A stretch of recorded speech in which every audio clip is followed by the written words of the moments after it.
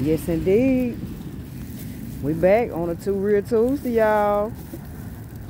And hey, yes, I'm still in my pride mode with my pride umbrella. in the rain, baby. You dig? Now, I'm and you know what? I'm about to cover something really controversial.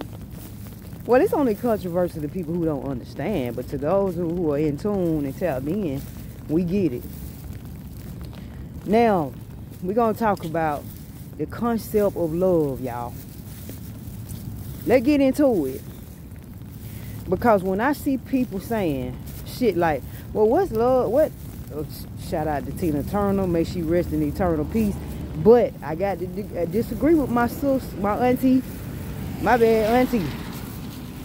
I got to disagree with auntie on one thing. And that was one of her biggest songs that she ever created. Now, she created What's Love Got to Do with It? My response is to that. Hell, love got everything to do with it. It has everything to do with it. Because you have to start with yourself. There has to take place self-love, self-evaluation self-work. You must do these things in order to get the grasp on what love truly means. So when you see people questioning what's love, what is it? What's the concept? What's the definition? You know, trying to constantly answer and ask these questions you know why they asking these questions? Because they have not started with self.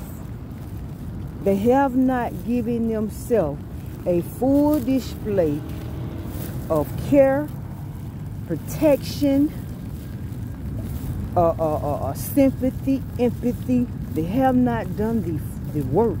The work has not been done. The full work that must be done whether it takes the rest of your fucking life to do it. It has to be done for you to understand what love look like. You got to be the example first. How in the hell are you going to understand it in someone else or give it to somebody if you ain't got it for yourself? That just makes common sense.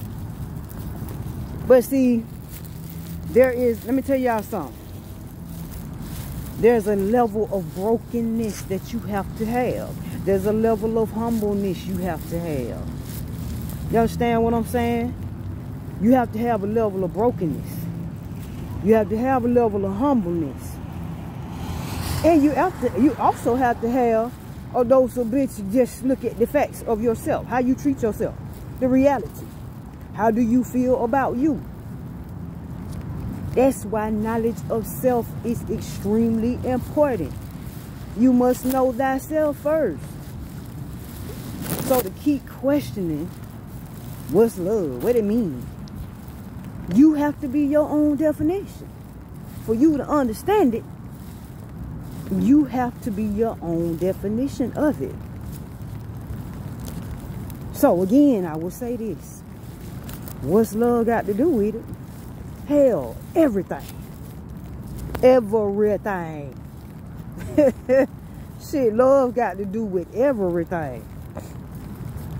Because you damn sure can't give out to nobody else what you ain't got. That's just like you can't loan nobody money, no money if you ain't got none. How the hell you gonna love somebody you ain't got none? You ain't got no love to give. Cause you don't love you. And you have to understand what that means. So my thing is, you know, if you out there questioning what love is, it's because you haven't given it to yourself. You have not taken the time to give the work, to, the to do the work, and give love to the most important person that you could give it to, which is you. Love is everything. It's protecting your peace, protecting your space, your energy, your boundaries respecting yourself, not allowing somebody to come in and disrespect you. No matter how much, you know, blood uh, related you are to them or whatever it means. You are responsible for you. So, if you can't look at the mirror and see love, then you got work to do. Anyway, this is a Too Real Tuesday. And the message has to be the message. What love got to do with it? Hell. Everything.